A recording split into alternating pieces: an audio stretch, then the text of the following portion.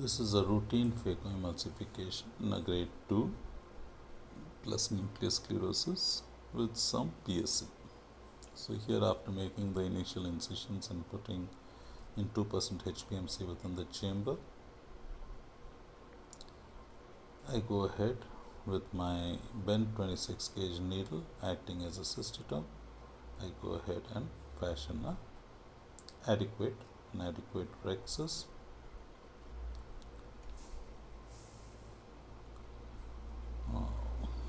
I think everything is going on pretty well and that's the rhexis done.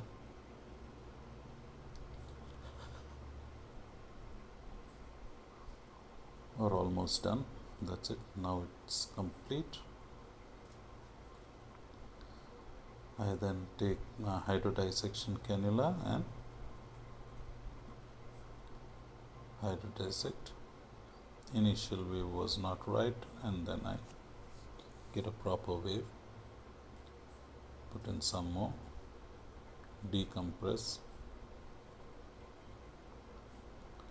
and rotate the nucleus with the tip of the hydrodissection cannula itself and that's well done.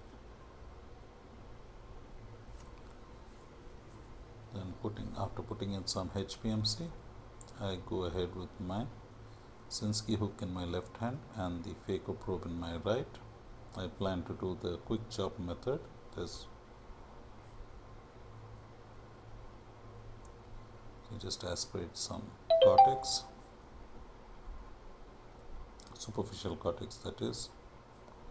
And I am going ahead to impale the nucleus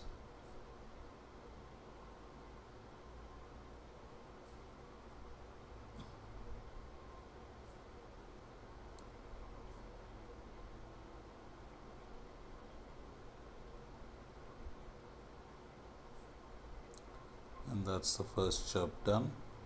I have just impaled in the superficial part of the endonucleus. And sometimes the mistake is if you try to impale too much you will get into the epinucleus and that's you know that's going to defeat your purpose. So normally I make four segments and then only take out the segment but sometimes when the segment presents it itself to you like this there is no choice but to just go ahead and eat it up.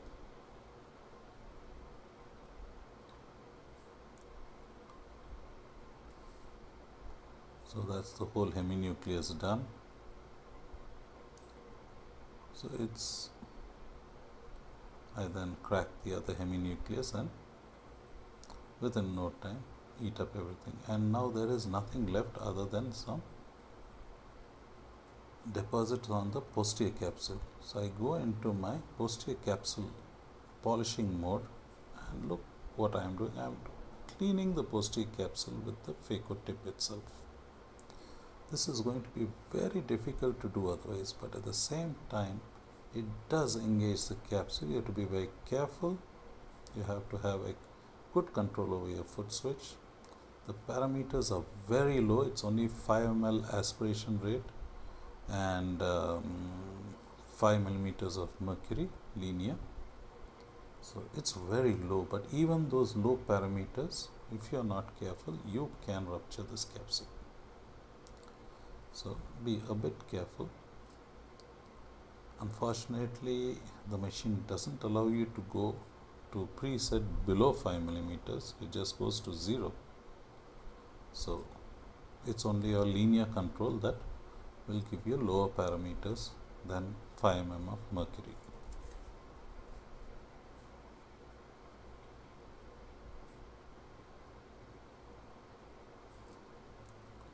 So you can see how beautifully it is cleaning up the posterior capsule. Even the superior part which is and the subincisional part which are quite inaccessible actually can be dealt with.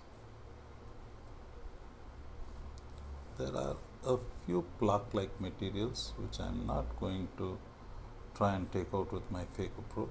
There's a bit of cortex on the superior part. I'll try to take that off.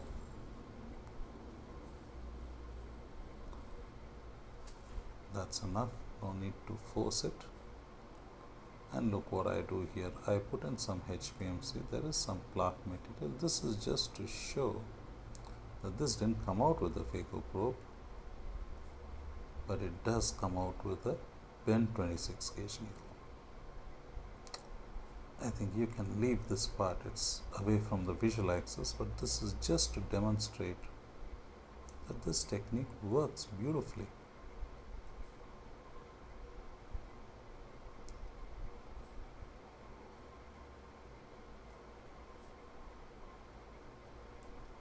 just watch how this plaque comes out completely.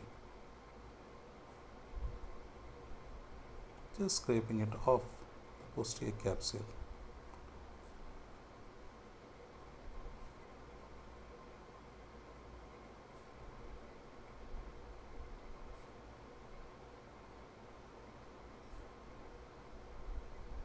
That's it. I decide against taking out that other side and whatever I have scraped off I just use a hydrodissection cannula and look I just aspirate those the loose bits of cortex. That's it. And that's it. And then after putting in HPMC I go ahead and inject my single piece hydrophobic IOL trying to inject it directly into the bag. Having done that I then take my bimanual and aspirate the HPMC from uh, the anterior chamber.